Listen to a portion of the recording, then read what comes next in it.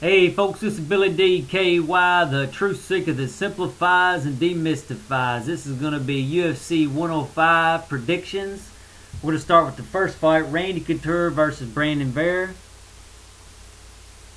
Basically, I see this boiling down to one thing.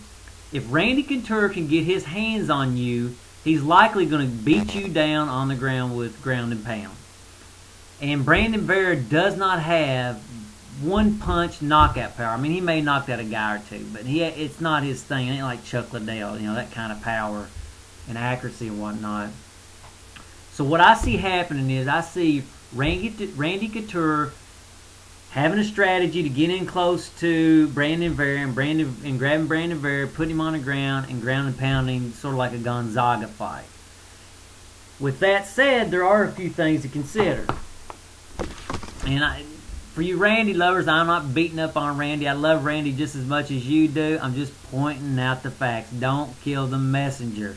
I was never as happy watching a fight when Randy Couture beat down Tim Sylvia. I loved it. So this is not nothing negative on Randy, just point out the facts. Randy is starting to look old. Before, to me, it was just a number. Oh, Randy's 43. Who cares? He looks like he's he, he's acting young. But Randy is starting to look old. I'm starting to see age on him. And I'm not saying, I'm starting to see it in physical, but I'm also seeing it in his actions. And so, that may not bode well for Randy in this fight. Plus, Randy's an, not probably not going to be an underdog in this fight, so that doesn't bode well for him. Randy typically does not do well when he's not an underdog.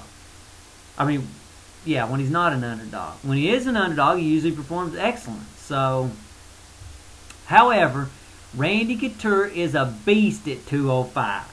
We all know that. He was a beast last time at 205. He's going to be a beast this time at 205. So, you know, you got the age, plus he's moving down. It's There's a lot of things going on, so I don't know. We'll, we'll have to see. Let me see what else we got here. Okay, Brandon. Brandon Vera.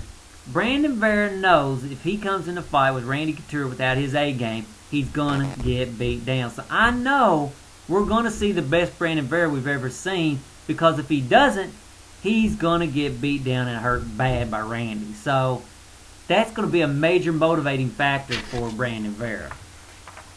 Okay. The Brandon's last fight against, uh, I'm going to screw this name up, Krzysztof Soszynski. I was really impressed because I thought Soszynski was going to come in and just impose his will, and within the first 30 seconds, Soszynski realized, or Krzysztof realized he wasn't going to be able to oppose his will on Brandon, and Brandon was going to be able to oppose his will. So I knew 30 seconds within that fight, it was over.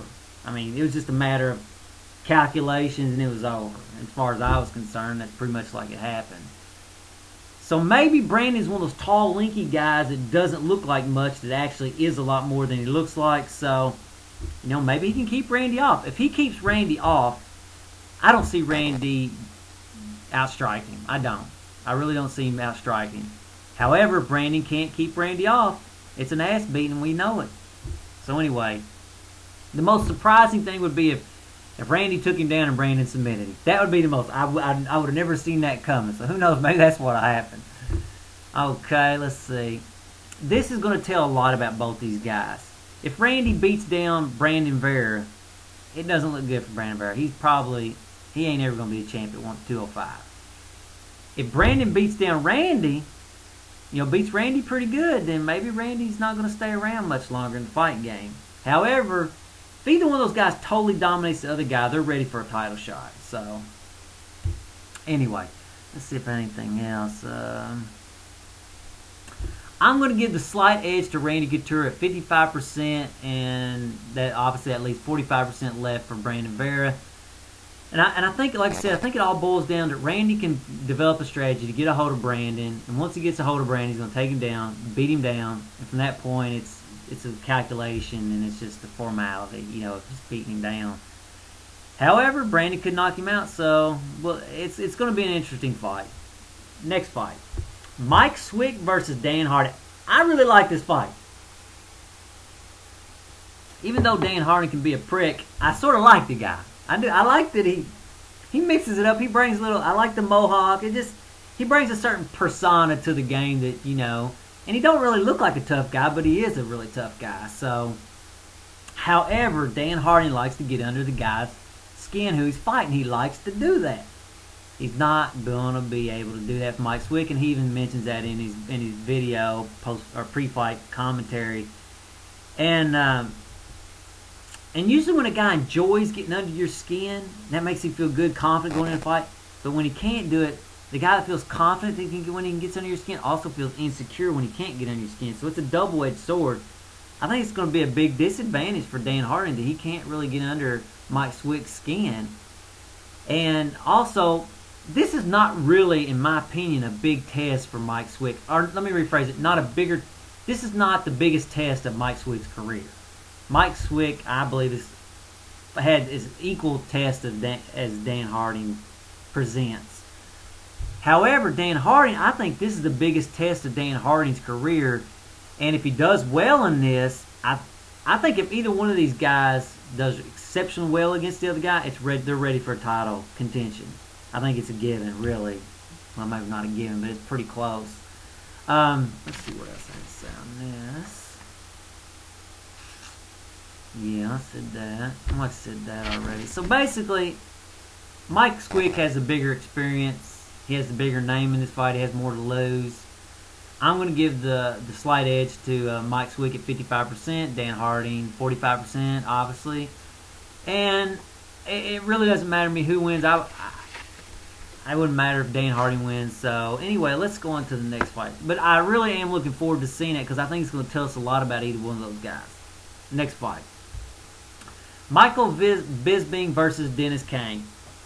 I really can't judge it because I haven't seen enough Dennis Kane in the UFC, which I don't know if he's ever fought in the UFC. I don't think he has. It's all outside it, which, you know, a guy can be absolutely phenomenal outside the UFC, but when you top step in with top flight top flight competition every single time, that, that really lets me know how you're going to compete in the UFC. And Dennis Kane may be a, a Anderson Silva kind of guy, or he may be like the last guy that fought the I can't remember the guy's name now.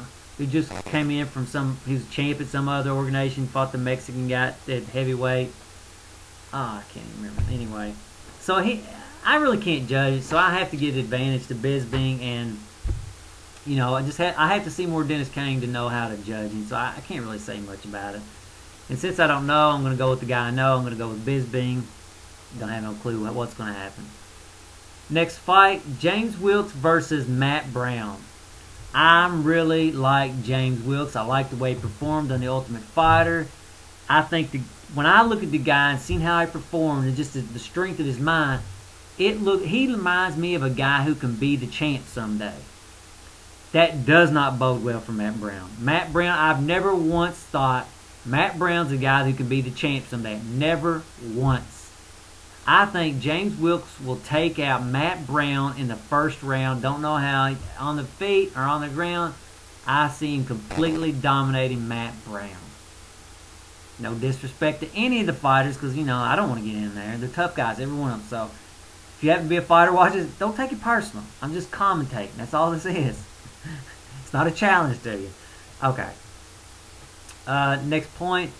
I'll be doing a post-fight video about 30 minutes to an hour after this uh, after the event, and so you know it'll take me a little bit to upload it. So like I say, within 30 minutes to an hour, I have a video out there, and you can we can chit chat about it while in the comment in the comment section. Anyway, if you don't mind, please rate the video, and later, folks.